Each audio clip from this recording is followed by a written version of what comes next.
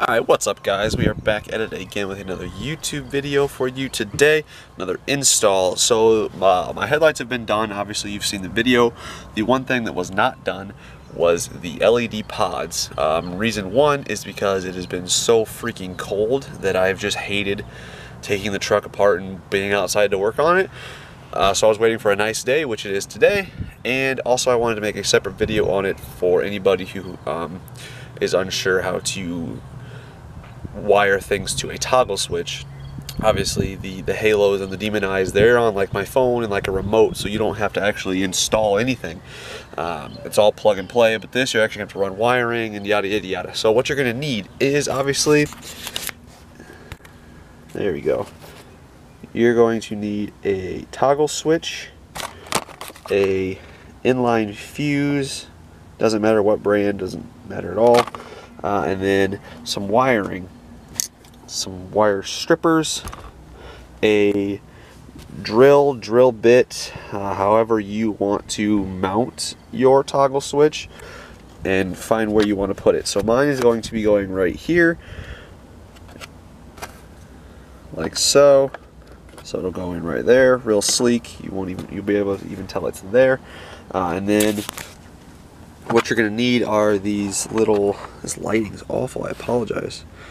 These flag connectors is what they're called. You just crimp them on and then they will obviously go onto the back of the toggle switch. So I'll see if I can get the right lighting and it'll focus. So if you look at the toggle switch right there. So the negative is marked gold. It's a different color. And then you're going to see a 12 volt in the middle and then DC. So what this means is, and I can I can throw a picture up too.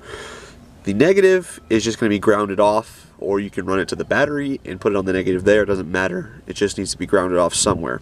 The 12 volt is going to run to the battery positive, and that's where you are going to tie in the inline fuse.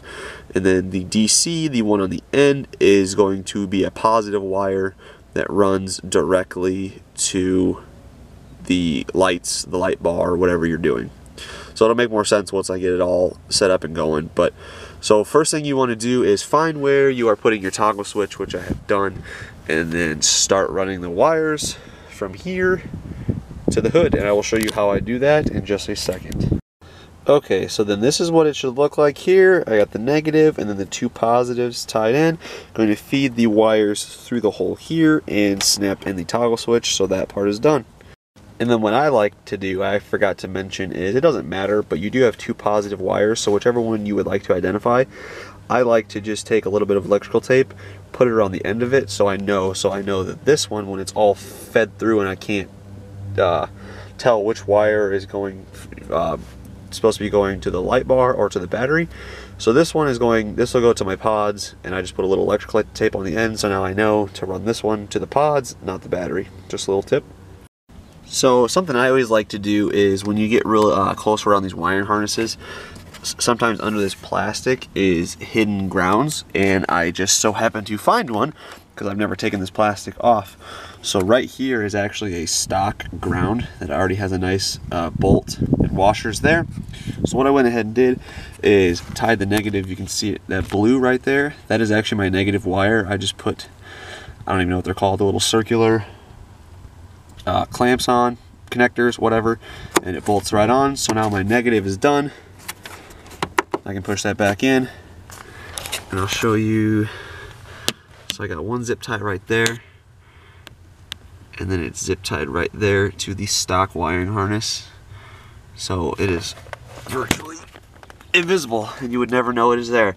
So now what I need to do is try and find a way to get the positive wires through the firewall to the battery and the lights. Okay, so update for you guys here. What I went ahead and did is took the route of, I found this little, where's it at? It's just a dust cover. It just sits right in that hole there. I went ahead and drilled a hole through it. I'm gonna feed the wires through it and then I'll put the dust cover back on and I'm just gonna go ahead and run it through right there. You can see the crease in the fender to the front.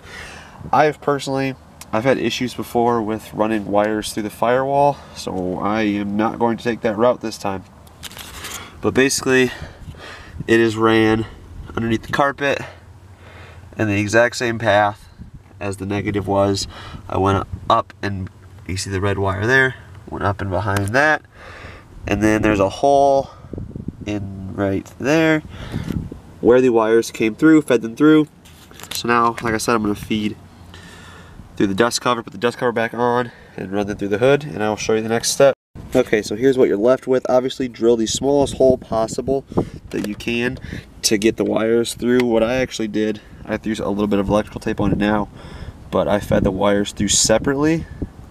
So it's still a nice tight seal. It's gonna keep out any dust, debris, anything you may have an issue with that. So now we're gonna go ahead and just run these wires up and behind the hood. Okay, so when it runs through, it's going to come through here. If you keep it under here, feeding it through, there's going to be an opening. Sorry, the light's bad. Going to be an opening right here. Feed them through here. And now I have them pulled through.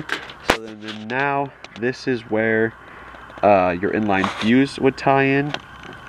So, uh, luckily there's actually a difference so obviously, um, I'll untape the end here.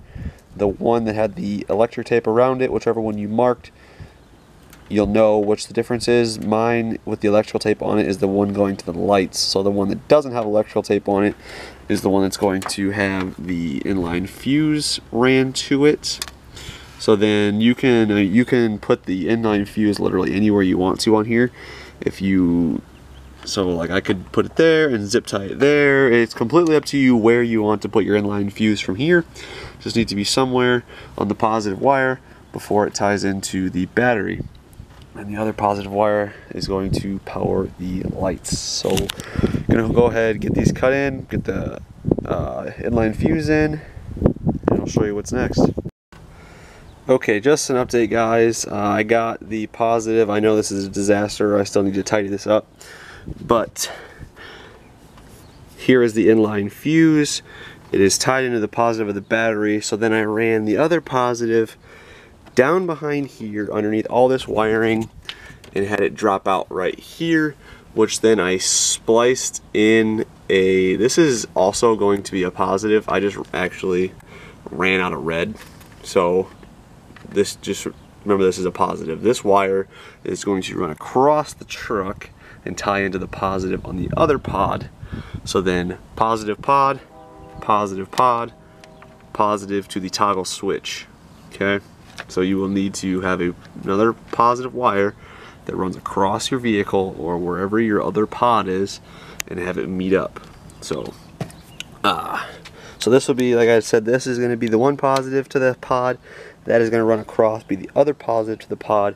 And then all you need to do is uh, if you wanted to use the wiring or whatever, you could take a negative wire, run it across, and have it meet up with the negative wire to the pod as well, but it just needs to be grounded. So all I'm going to probably do is sand some paint here and put in a self-tapping screw or something of that nature. I haven't fully decided yet, but just like with the negative on the toggle switch, you just need to ground off the actual negatives on the pods. So once I get that done, I'll actually show you what I'm talking about and give you a little bit of visual representation.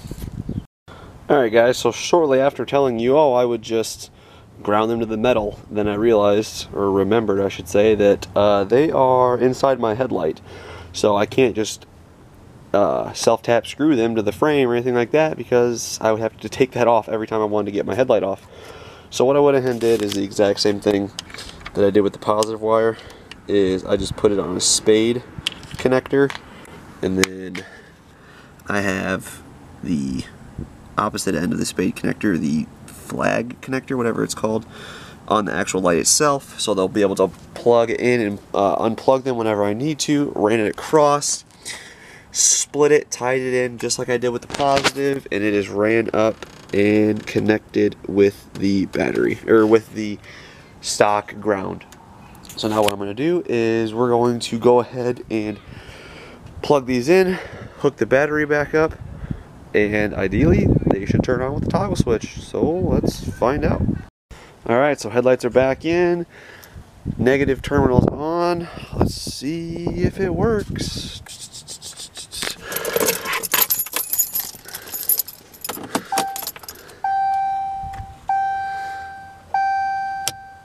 Okay, so the light came on, showing they're on.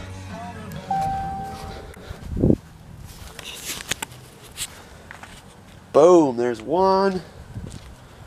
And there is two. They both work fantastic.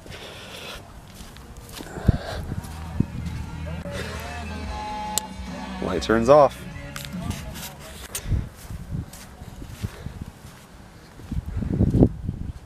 And they're off. Alright guys, so that is the video. I hope you enjoyed it on how to uh, wire LED light bars, LED pods. It's going to apply to any of that to a toggle switch. Like I had said, um, I personally couldn't just ground off the negative, so I had to use a little bit of extra wire. But if they're going in like, if the light bar is just being mounted, if it's a light bar, and it's just being mounted and you're not taking it off, then obviously you can just ground it to metal. You don't have to do what I did with running it around, but I had to so that I can take my headlights out. But that is the video, guys. If you liked the video, if you enjoyed it, give it a thumbs up for me and subscribe for more how-tos, more product reviews, more crap going into this money pit that I call my truck. Uh, until next time, peace.